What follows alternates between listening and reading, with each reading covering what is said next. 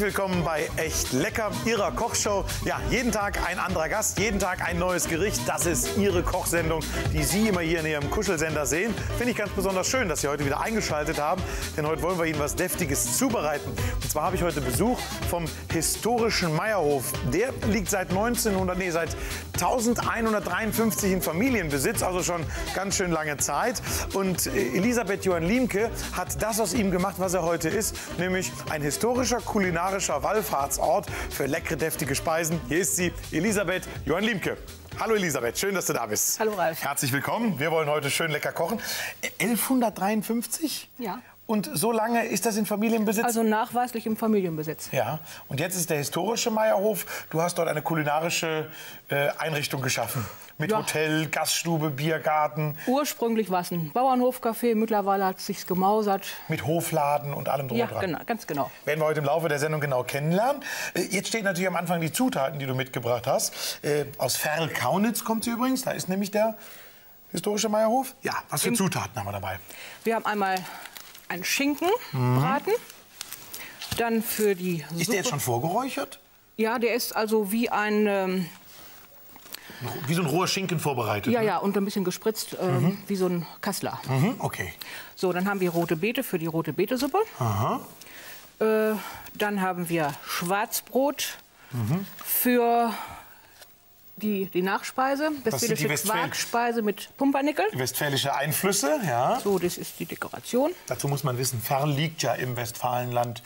Äh, Am Rande des Teutoburger Waldes ähm, und am Rande der Senne ein schönes Urlaubsgebiet. Ja. Wir, man kann gut Fahrrad fahren. Wir haben gut ausgebaute Fahrradwege.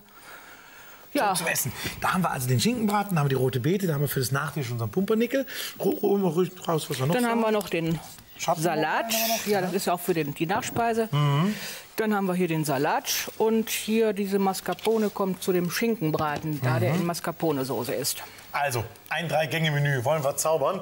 Ja, fassen wir mal zusammen, Elisabeth. Zur Vorspeise machen wir gleich. Was genau? Wir machen eine rote Beetesuppe, Aha. Dann zur Hauptspeise, dann einen Schinkenbraten Meierhof Mhm. in Mascarpone-Soße. so wie es ihm nur beim Meierhof gibt. Ja, mit westfälischem Pfannekuchen. Ja. Äh, dazu einen grünen Salat in ganz normaler Zitrone, Zucker, Sahnesoße. Oh. Und als Nachspeise, wie gesagt, die westfälische Spa äh, Quarkspeise mit Pumpernickel. Ein lecker Gericht werden wir heute zubereiten. Drei Gänge. Ist ein bisschen Arbeit, deswegen werden wir beginnen. Los Ja. geht's. Elisabeth, kannst du die halb umbinden, einmal umschlagen? Ja, der historische Meierhof. Bekannt für auch historische äh, Feste. Gerade im Frühjahr gibt es bei euch Ja, wir vieles. machen immer am Ende April, letzt, immer das letzte Wochenende im April, haben Ja. wir unser Frühlingsfest. Äh, da werden immer unter einem anderen Motto irgendwelche ja, Feste gefeiert. historische Spielchen gemacht. Ja, nicht nur historische Spielchen, auch alte Handwerker werden manchmal vorgestellt. Ja, wir zeigen Ihnen das mal, wie es da aussieht. Oder Im äh, historischen Meierhof. Das ist aber auch sehr schön. Die Häuser alle tipptopp. Das ist ja toll. Ja. Da habt ihr richtig Arbeit reingesteckt, ne? ja, eigentlich ist es immer so gewesen. Mein Vater hat immer schon alles äh, Gut gepflegt. gut gepflegt und immer darauf geachtet, dass es ordentlich ist. Dann gucken wir uns das auch mal von innen an, bevor wir dann richtig loslegen mit der Arbeiterei. Das ist der historische Meierhof von innen. Also es ist wirklich, erst gab es ein Café. Das ist jetzt welcher Einblick? Das ist eigentlich unser Privatraum, unsere Diele. Ja. Da sind wir angefangen vor sechs Jahren oder vor fünf, ja, sechs Jahren. Und äh, haben da so überrollt worden. die ersten Gäste dann da über, ähm, also bewirtet.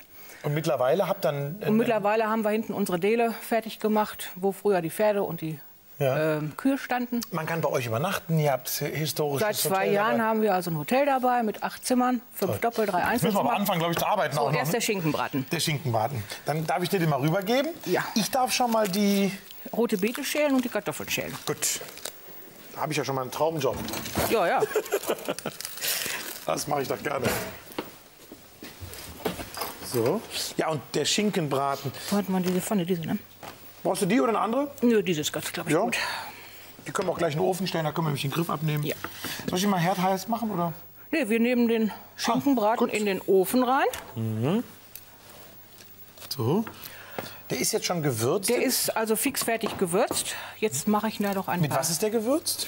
Äh, der ist gespritzt wie ein Kasslerbraten. Ja. Und, Gespritzt heißt was? äh, also mit Salz und Gewürzen. Mhm. Den kann man also beim Metzger sich fertig machen lassen. Und dann, Dann kriegt man den so, wie er hier ist. ja. Und wir geben noch ein paar Zwiebeln hinzu. Und das wird eingespritzt, das Gewürz, oder? Ja, Also kommt innen rein, so wie... das wird richtig mit so einer Spritze. So, müssen wir schon mal Wasser aufsetzen? Können wir gleich machen dann, ne?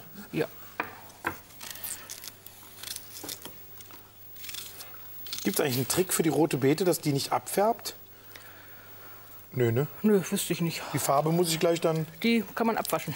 Kann man abwaschen? Ja, denke ich mal. Ach, probieren wir. Jetzt mache ich die Schale schon hier rein. So. Und ist das auch westfälische rote Beete? Ja, das war. Baut ihr den auch selber an so? Ich meine, ihr habt eine Äh, richtige wir Landwirtschaft. haben, ja, das haben wir zwar, aber wir bauen das nicht an. Das machen Nachbarn. Die bauen auch die Kartoffeln an. Die haben auch so einen kleinen Hofladen dabei. Und alle Zutaten, was Gemüse ist und sowas, hole ich dann von denen. Denn man soll das ja schön verteilen, das Ganze, die Arbeit. Genau. Man kann nicht alles machen. Aber ihr seid schon so ein bisschen Familienbetrieb auch. Wir sind ein Familienbetrieb. Ich habe sehr nette Mitarbeiter, die jederzeit parat stehen. Die muss man auch erstmal suchen. Denn wenn ich anrufe, dann kommen sie. Ist egal zu welcher Tages- und Nachtzeit. Also das ist wirklich top. Bei euch steht jetzt in naher Zukunft die 850-Jahr-Feier an. Nö, die haben wir schon. Die habt ihr schon? Das ganze Jahr. Das ganze Jahr. So, jetzt habe ich hier den, die Zwiebeln dazu getan. Jetzt kommt noch etwas Lorbeerblatt. Das ist dann der feine Geschmack. Genau. Dann ein paar Wacholderbeeren. Und wie lange muss dann so ein Braten in den Backofen? Ja, das dauert ungefähr so anderthalb Stunden, je nachdem, nach Dicke, nach Größe. So, jetzt kommt dann nur noch ein bisschen Wasser dazu. Ja. Heißes kannst du unten aus dem Wasserkocher Ja, nehmen.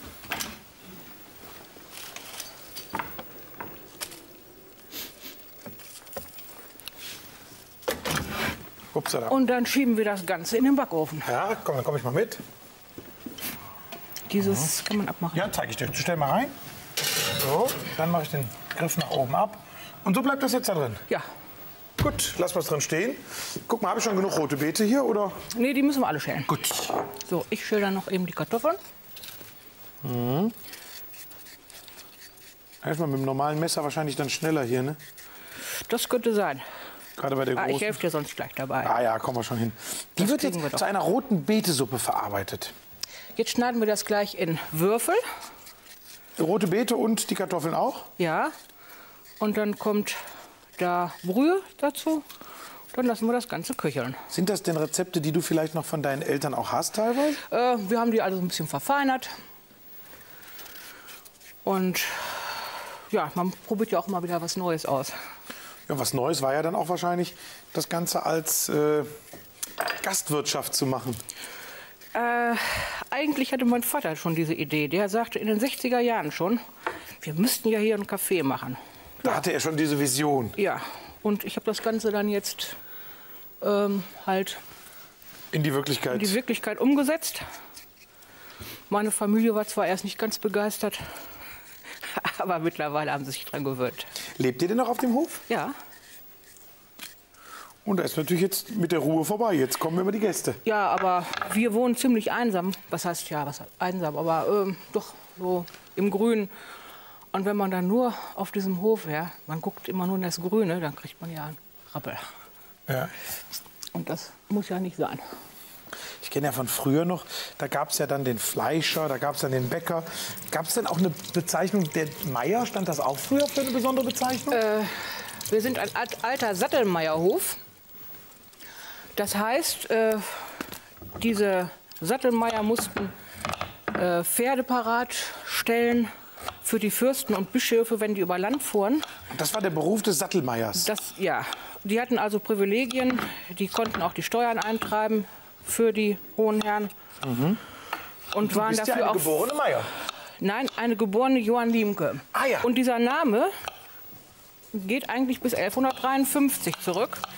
Das kommt ursprünglich wahrscheinlich von Lehmbach. Und wir wohnen am Rand der Wapel. Ja.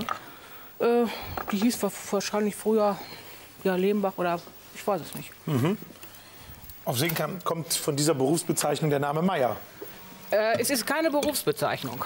Das ist ein, äh, wie soll ich das sagen, ein privilegiertes, wie Ja. früher Schulze, Meier, Fucht, äh, Fuchtein und sowas. So. Dann kann ich auch schon die rote Beete mit klein schneiden. Ja, so in Würfel.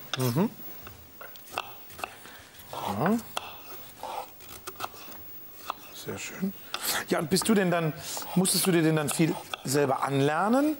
Du warst ja bis dato dann keine Köchin, oder wie war das? Ja, ursprünglich habe ich mal, war ich auf dem Büro gewesen, war Sekretärin und dann ja, geheiratet, Kinder gekriegt. Und dann habe ich so gedacht, um da mal rauszukommen und nicht nur da auf dem Hof zu versauern, machst du mal die Wirtschafterinnen-Schule. Ja, und das war eigentlich, war das ganz gut, so im Nachhinein. Dann konntest du auch Wir den hatten- Laden schmeißen. Ja, wir hatten eigentlich, meine Mutter war landwirtschaftliche Lehrerin, wir hatten immer sehr viel Besuch gehabt. Und Ich gebe dir auch ein Handtuch. Bitte schön. danke. So, dann setzen wir mal die Brühe auf. Nehmen wir einen großen Topf. Den, ja, den großen. Nehme ich den direkt. So. Können wir jetzt Brühe reintun oder Ja. erstmal Wasser? Oder haben wir. Nee, Moment, wir müssen ja noch Zwiebeln anschwitzen. Ah, guck an. Bisschen Fett rein. Ja. Fett heißt normales Öl, Ja. Aber nicht, nicht so ganz viel. kein Olivenöl, ne? Ganz normales Öl. Gut. Kannst auch Olivenöl nehmen, aber Ja. Ich nehme jetzt Mazzola dazu. Das- So ein ganz klein bisschen. So unten drin. So, unser Braten ist schon verschwunden im Backofen. eine Zwiebel brauche ich, glaube ich, noch. Ja.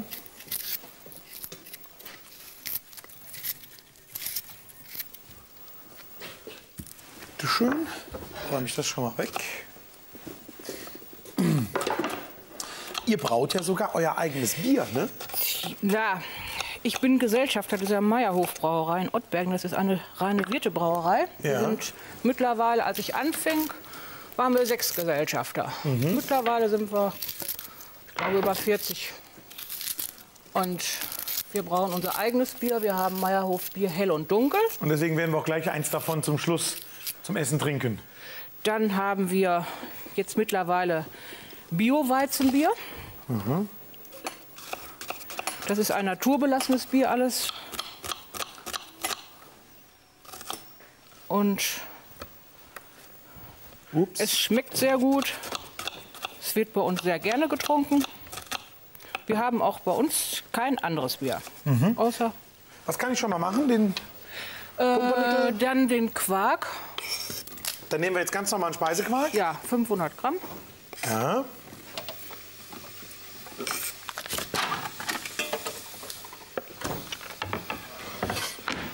Habt ihr noch so freilaufende Haben Hühner? wir irgendwo einen Kochlöffel? Kochlöffel vorne, guck mal. Ach da. Habt ihr noch so Hühner und, und Nein, also ihr wir, haben, wir haben nur noch hier unsere schottischen Highlands. Ab und zu werden die dann. Highlands? Ja. Was ist das, das? sind Wildrinder, die bedürften eigentlich wenig Pflege. Und sie ähm, laufen Sommer wie Winter draußen rum, ist fast wie wild. und die kommen dann noch Und ab und zu dann, durch ein Schlachtfest. ja, dann werden die dann geschlachtet. Was wir auch selber haben, ist äh, Wild aus der eigenen Yacht. Was kommt hier noch dazu? Äh, da kommt jetzt äh, Zucker.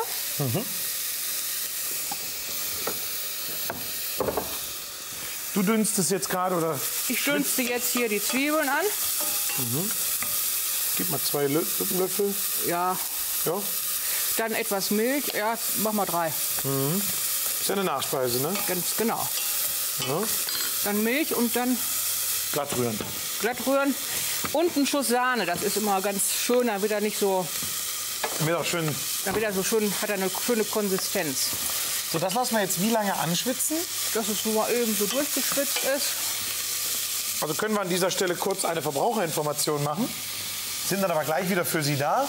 Und dann geht's weiter mit dem historischen Meierhof und mit dem passenden Gericht dazu. Bis gleich.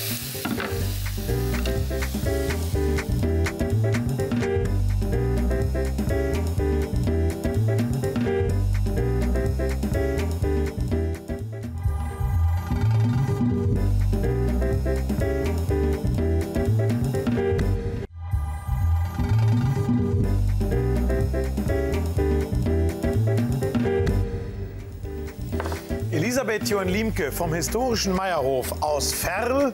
Wie heißt der Stadtteil nochmal? Ortsteil Kaunitz. Ortsteil Kaunitz, heute bei uns zu Gast. Wir wollen heute leckere Sachen für Sie kochen. Ja, wir haben einen Schinkenbraten im Ofen. Den haben wir jetzt gerade ausgetauscht, weil der sonst anderthalb Stunden ziehen müsste. Wir haben jetzt einen Halbgaren schon mal reingetan oder einen Halbrohen. Der gart jetzt gerade vor sich hin. Was machen wir denn überhaupt sonst noch? Mhm. Dann Was haben wir unsere rote? Betesuppe. Die, da haben wir also rote Beete, Zwiebeln und Kartoffeln angedünstet. Mhm. Bisschen Sternanis ist gerade noch mit reingekommen. Brühe äh, haben wir dazugegeben. Sternanis, den sollte man allerdings nicht zu lange kochen, denn sonst ist das zu intensiv. Den nehme ich jetzt auch raus. Ja, ich mal suchen, wo wir den haben. Hier. also der schwimmt oben. Eine kleine Prise Piment haben wir noch reingetan. Piment ist, Und dann nachher wird er noch mit Salz und Pfeffer abgeschmeckt. Piment ist ein Gewürz. Ja, Gut. So, dann haben wir den äh, Pumpernickel, unser Schwarzbrot. Übrigens eins mit einer Goldmedaille ausgezeichnet. Und Es Ja. gibt ja viel Pumpernickel im Westfalenland. von der Firma, also von der Bäckerei Vorbeck. Das Mhm. ist eine Nachbar, also ist bei uns auch im Ort. Also regionale Bäckerei. Ja, Und haben wir klein gehackt. Ja, dann können wir weitermachen. genau. Unser Quark steht im Kühlschrank. Ja.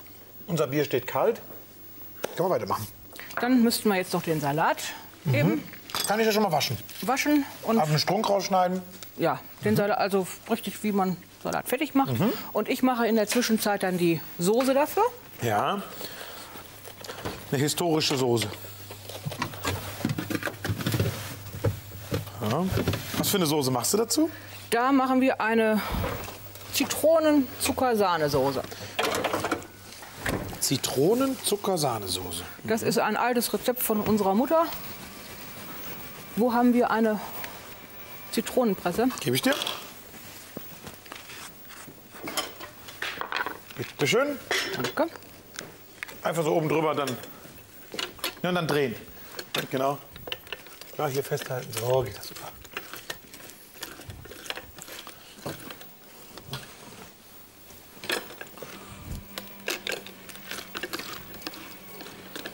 Wann ist denn so bei Da euch? nehmen wir dann a- für so einen Kopf Salat eine Zitrone. Wann kommen denn zu euch die meisten Gäste? So am Sonntag tagsüber oder? Also tagsüber, weil wir die meisten meinen ja, wir hätten noch nur einen Kaffee, aber mittlerweile ist das ja schon so ein bisschen mehr Restauration geworden. Restauration geworden. Und früher hatten wir auch im Winter noch zu. Ich stelle das hier mal hier. Aber mittlerweile, dank des Erfolges, Äh, ja, mittlerweile haben wir auch dann äh, in der Woche und äh, auch im Winter geöffnet. So haben wir noch einen Löffel ja, gebe ich dir, haben wir hier. und etwas Zucker brauchte ich. Jetzt machst du das Dressing. Jetzt mache ich das Dressing. Dann nehme ich eine, eine Zitrone, vier Esslöffel Zucker, Ist praktisch, machen wir direkt in dem Glasgefäß. genau. So, und dann etwas Milch dazu. Dann löst sich der Zucker besser. Das ist so ein Tipp Zucker von meiner Ja. Mutter irgendwie. Sonst, wenn ich jetzt nur Sahne dazugeben würde, dann wird das irgendwie so flockig. Und mit dieser Milch löst sich das besser. Das wird ein tolles, frisches Dressing. Ja, Sehr gut. Den Salat lassen wir hier noch ein bisschen abtropfen. So. Jetzt müssten wir mal gucken, wie weit hier unsere rote Beete sind. Die wird dann nachher nur noch so- püriert. Ja. Und Würze? Gewürzt haben wir jetzt gar nicht, das ist nur durch Ich habe jetzt etwas Piment da reingegeben und dann etwas Brühe. Und das ist jetzt, deswegen brauchen wir kein Salz oder Pfeffer. Doch, das müssen wir nachher noch abschmecken mit Salz und Pfeffer. Machen wir dann zum Schluss. Genau. So. Dann haben wir die. Dann haben wir jetzt noch diese Quarkspeise. Da müssten wir die, Tier- die Kirschen abtropfen lassen. ja, mache ich das auch schon mal.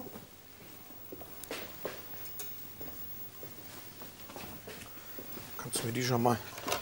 So. Brauchen wir den Sud? Den brauchen wir nicht, aber Der ist zu schade zum Wegschütten, ne? ich habe gehört, der, da kriegt man frisches Blut von. Davon kriegt man frisches Blut? Ja, also wäre gut fürs Blut, Kirschsaft. Sollte man also trinken. Dann trinke ich das heute. Natürlich auch trinke ich ein Meierhofbier, klar. Also wenn wir das schon mal da haben. Das lassen wir abtropfen. Genau. Und jetzt wird das in die... Jetzt kommt dann gleich der Quark, da kommt dann der Pumpernickel rein und die Schokoladenraspeln. Kann ich das schon mal holen? Man sollte diesen, diese Sag mal, Pfannkuchen Pumpernickel... müssen wir noch machen. Den machen wir zuerst. Ja, das könnten wir auch noch machen. Dann machen wir zuerst. Pfannkuchenteig, Genau. Ja. So, dann nehmen wir mal hier unten so einen Bottich raus. So. So. Kannst du schon mal den Teig vielleicht vorbereiten? ja, dann brauchte ich Mehl Mehl. und unsere Mascarpone-Soße. Machen wir gleich auch noch, ne? Die, nee, da brauchen wir dann, wenn wir den, den Braten rausnehmen. Also hier habe ich Quark, 500 Gramm glatt gerührt, mit drei Esslöffel Zucker. Kannst du mir mal sagen, wie das hier funktioniert? Ah, warte mal, das müssen wir erstmal justieren auf 0. So. Jetzt kannst du es einfach oben drauf schütten. So 250 Gramm. Ja. Noch mehr. Jetzt sind es 200. Stopp. Und so ungefähr. 250. Ja. Zehn Minuten noch Zeit. Das kriegen wir hin, ne? Drei Eier. Die kompletten Pumpernickel, die wir geraspelt haben, gebe ich rein. Und die Schokoflocken. Ja, ein paar Schokoflocken lässt du bitte über. Brauchen wir zur Deko nachher noch. Ja. Hier haben wir also Eier von unserem Nachbarn. Auch wieder aus der Das Nachbarschaft. ist also sind Bio-Eier. Alles frisch bei euch.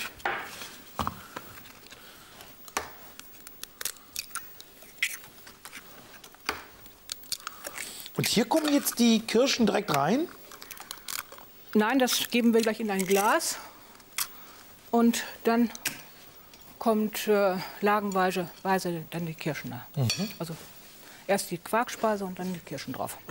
So ein Glas brauchen wir noch. Das kann der Thorsten dann, unser Aufnahmeleiter, mal holen. So ein Dessertglas. Haben wir irgendwie was zum Abmessen? ja.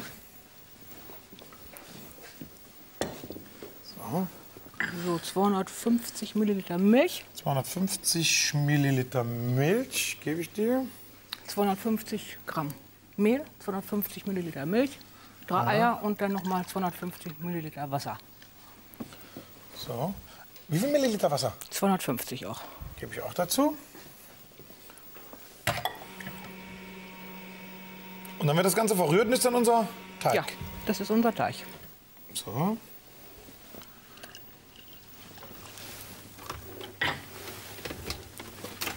Schichten wir das gleich. Räume ich hier schon mal ein bisschen zusammen. Sag mal, als ich bei euch gelesen habe, habe ich gelesen, bei euch treffen sich auch immer die langen Kerls. Die waren also schon zweimal bei uns. Wer sind denn die langen Kerls? Das ist äh, die Garde des alten Fritz. Ja. Und äh, das ist eine historische Gruppe aus ähm, Potsdam. Die hatte ich also durch Zufall mal entdeckt. Da Sind das denn auch so lange Kerle? ja, also mit, mindestens zwei Meter. Wenn nicht zwei Meter groß ist, wird kein langer Kerl. Nein. Wenn die bei uns sind, dann denkst du die ganze, Und der alte Fritz, unser alter ganz genau, Fritz, der Preußenkönig. Der Preußenkönig. Der große Fritz. Nee, der alte Fritz. Der alte man, ne? Fritz.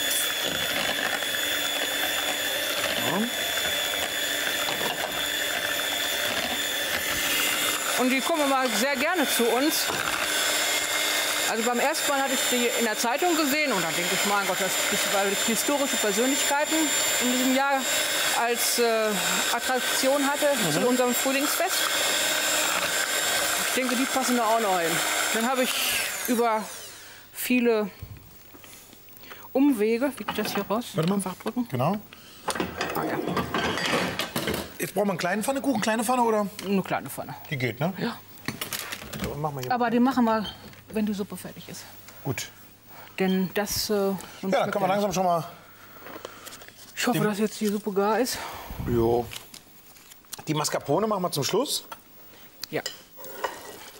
Dann können wir gleich schon mal das Dessert anrichten. Da haben wir dann unsere Dessertschale gleich.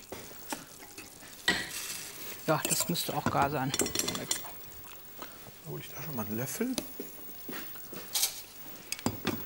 Kann man denn bei euch auch Hochzeiten feiern und sowas? Ja. Das ist ja bestimmt auch sehr beliebt dafür, ne? Hochzeiten, heute Abend haben wir jetzt Geburtstagsfeiern. Ah, schau mal in die Schale.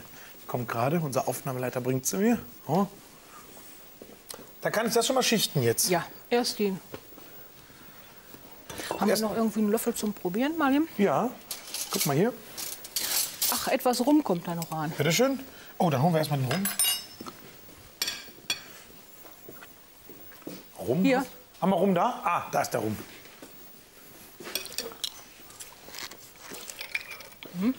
Ein Schuss? Warte mal, ich mach lieber einen Daumen drauf. So, Ja, noch ein bisschen. so. Fünf Minuten noch Zeit. Dann probiere ich auch mal. Hm. Das lasse ich mir aber gefallen. Ja, ne? Das schmeckt. Fange ich denn mit dem an oder? Ja.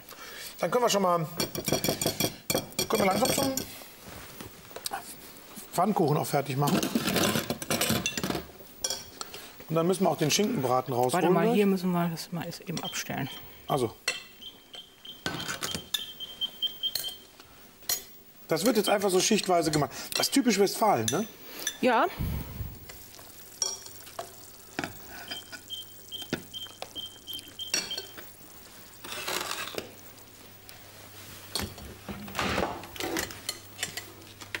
Suppe püriert.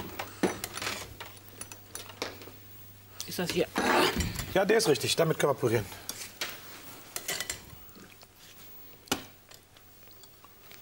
Ja. Warte mal, einfach genau oben drauf drücken, richtig.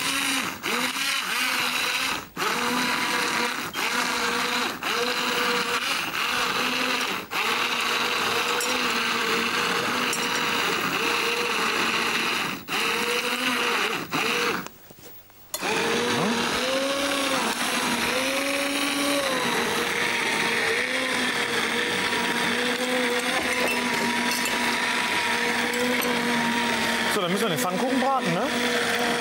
Ja. Aber erst den Schinkenbraten noch fertig machen. Ah ja. Weil das, wenn das aufgeschnitten wird, der Pfannekuchen sollte schon frisch sein. Wo ist mein Griff? Wo ist mein Griff?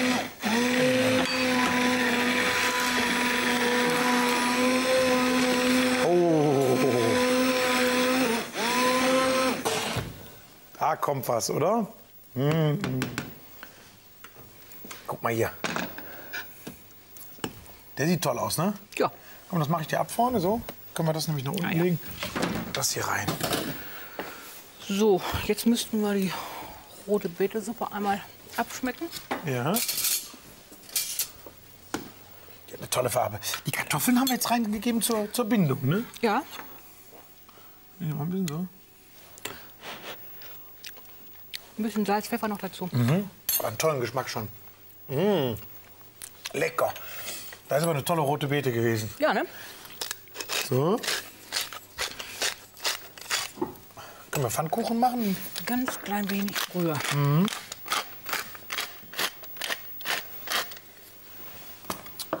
Und fertig. So, Pfannkuchen, den braten wir in Öl. Genau.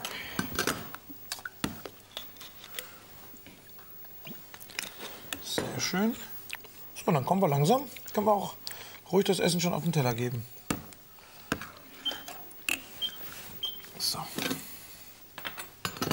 So, der Braten ist draußen. Den kannst du schon mal klein schneiden. Das heißt, in einfach runterschneiden oder Ja, schneiden. so in Scheiben, ne? In Scheiben. Ja. Oder kannst du auf die Hälfte einmal, vielleicht dann gibt es besser. Ich guck mal. So, und hier brauche ich noch ein wenig. Haben wir ein Passier, das große Brotmesser. so ein, Ah, hier ist es, da habe ich es. ein Passiersieb. Ein Passiersieb. Die flotte Lotte. Ja. Die flotte Lotte, das fleißige Lieschen. Haben wir beides da. Nimm die flotte Lotte mal. Dann brauchte ich noch Ein Topf. irgendwie so einen Topf, wo ich das draufstellen kann. Ja. So, Die nehmen wir- Schüssel da unten. Oder guck mal, den Topf hier. Kommen wir auch. Den untersten hier. Ja. Der ist schön. Und anders, andersrum. Erste flotte Lotte. Hier ist die flotte Lotte, genau. So, Gibt es auch schon seit 50 Jahren. Ist auch immer wieder gut. Ja. So, hier darf ich jetzt so eine fingerdicke Scheibe schneiden, oder? Ja, wie ihr, Wie unsere Probierkandidaten gleich. wie die das mögen. Die sollen ja auch satt werden, ne? Genau. Oh wei. Oder schneid's doch einmal durch. Ich schneide es einmal durch, lieber so. Einmal quer durch, ne? Ganz genau.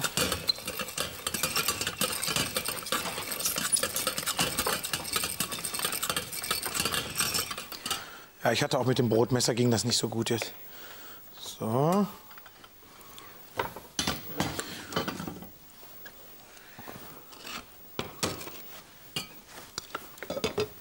Dann können wir das schon auf den großen Teller geben, ne? So, und hier habe ich jetzt die Soße. Da kommt auch noch etwas Brühe dazu. So, jetzt haben wir noch ein gutes Minütchen Zeit. Müssen wir ein bisschen uns beeilen. Und dann wird das Ganze mit Mascarpone aufgefüllt. So. Mal hin. Jetzt müssen wir noch den Pfannkuchen schnell machen, sonst kriegen wir den nicht mehr hin.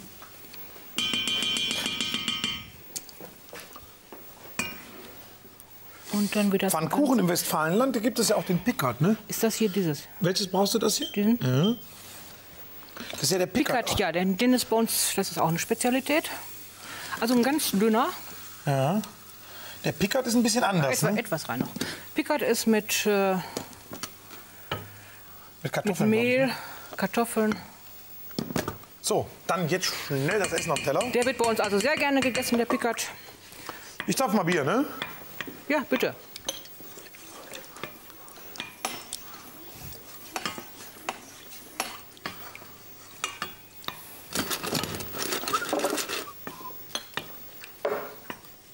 Gerade rüber geguckt zu unserem schmachtenden Aufnahmeleiter. Der stand nämlich da und dem lief schon so ein bisschen Spucke aus dem Mund, weil der auch so einen Durst hat. Oh, die Musik beginnt. Haben wir sowas ähnliches wie so einen Pfannenheber? Ja, ähm, da vorne, Palette. Alles da.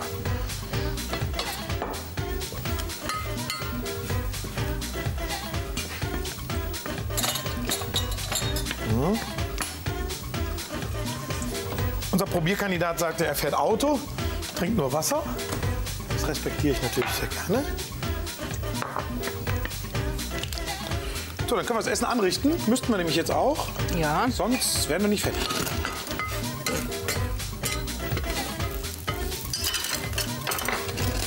Ist das hier richtig Das ist volle Pulle.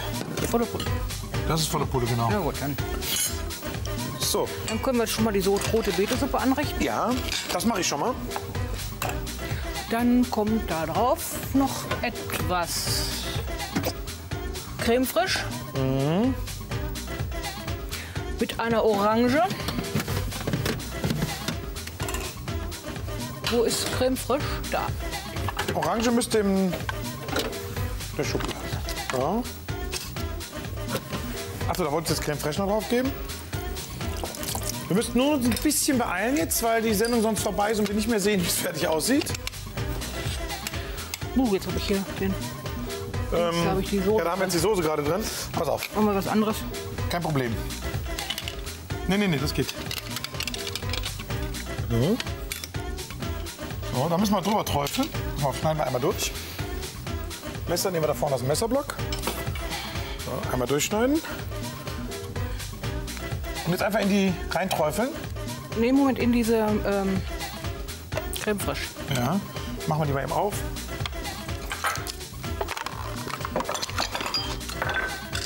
Träufeln wir mal eben hier rein. Genau.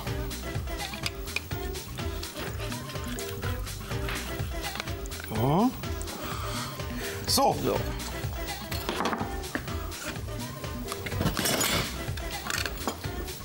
So, der Pfannkuchen noch schnell. So, dann müssen wir schnell die Hauptspeise anrichten. Upsala. Ups, jetzt fällt er auseinander. Also mal, wenn es schnell gehen soll. So. Kann ich die, das Fleisch schon auf den Die Teller rote geben? Betesuppe haben wir fertig. Ja. Müssen, wir müssen ein bisschen Gas geben jetzt. Ja. gegrillten Fleisch einfach auf den Teller geben? Oder Ja. kommt der, oder kommt der, Der Pfannkuchen kommt dazu. kommt der drunter? Oder? Nö, daneben.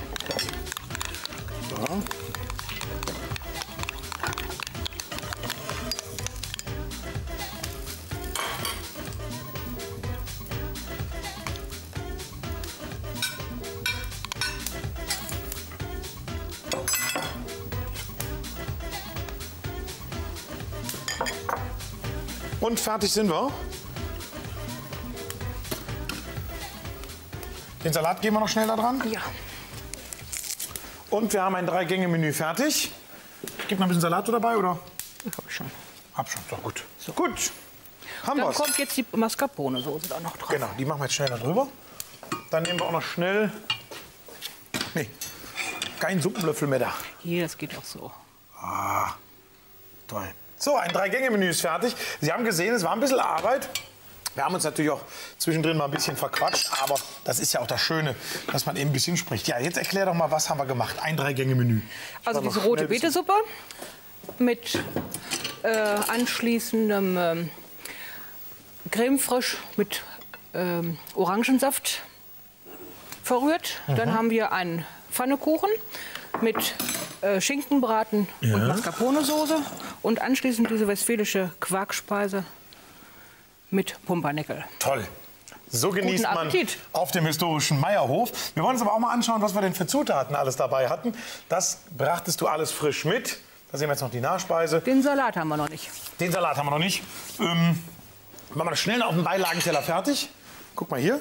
Nehmen wir jetzt schnell Brauche ich den. noch etwas Sahne? Und Rolf Hensen darf das Ganze jetzt probieren. Rolf Hensen ist Krankenpfleger aus Duisburg. Grüß dich, Rolf. Schön, dass du da bist. Ja, heute bei uns darfst du probieren. Ja. Wir machen Das den noch schön. schnell einen Wunderbar. Salat fertig. Wollen wir erstmal anstoßen vielleicht? Ja, gerne. Du nimmst ein Wasser, weil du Autofahrer bist. Genau. Warten wir noch eben schnell auf Elisabeth und den Salat. Da hast du jetzt unser, unser Vinaigrette gemacht aus Sahne. So, da fehlt jetzt leider ein Teller richtig, da haben wir nur so einen kleinen genommen, So. das war kein Problem. So, ja, Elisabeth, lass uns anstoßen. Wir dürfen ein Bierchen. Ja.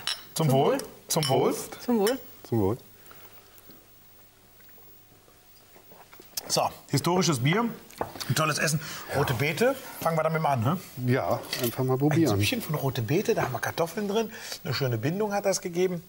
Und gerade noch mit der Orange dabei. Das war so der besondere Pfiff. Habe ich noch nie sowas gegessen. Gut. Toll, lecker. Ja, sie hört Sehr sich gut. lecker an. Ne? Ist auch lecker, also müssen Sie wirklich mal probieren. Dann haben wir hier einen Schinkenbraten mit Mascarpone-Soße Mhm. an Pfannkuchen. Oh Mann. Ist ordentlich was Deftiges, damit die Das ist ordentlich was Deftiges. satt werden. Ne? Fleisch. Ich habe dem Jungen auch mal ordentlich zwei Scheiben am Teller gelegt. der Pfannkuchen ist mir nur ein bisschen, der war was lang drin, aber das ist nicht so schlimm. Gut. Sehr ungewöhnlich für mich. Ja. Fleisch mit Pfannkuchen hatte ich noch nie. Nee, ist äh, mit der Mascarpone, das ist so, Und kann man es essen? kann man essen? Hervorragend. Gut, hä? Also wirklich. Von Duisburg zum. Meierhof ist nicht so weit. da mit dem kleinen Löffel jetzt eine westfälische Spezialität und Ja. zwar ein Quark mit Pumpernickel Und Sauerkirschen. und ein bisschen rum. Ja. Und ein paar Schokoladenraspeln. Genau. Auch hervorragend. Auch gut. Ganz toll. Na gut, tun. Also, Sehr lecker. toll, nicht tun. Lecker war's. Lecker haben wir gekocht. Ähm, der historische Meierhof, ein Besuch wert. Ja. Elisabeth, vielen lieben Dank. Rolf, auch dir vielen lieben Dank. Jetzt darfst du natürlich in Ruhe noch aufessen. Wir trinken noch, stoßen schnell an mit einem historischen Bier. Ja, nächstes Mal kommst du ohne Auto. Also, machen Sie es gut. Äh, viel Spaß beim Nachkochen. Denken Sie dran. Bisschen Zeit nehmen, dann gelingt's auch. Tschüss.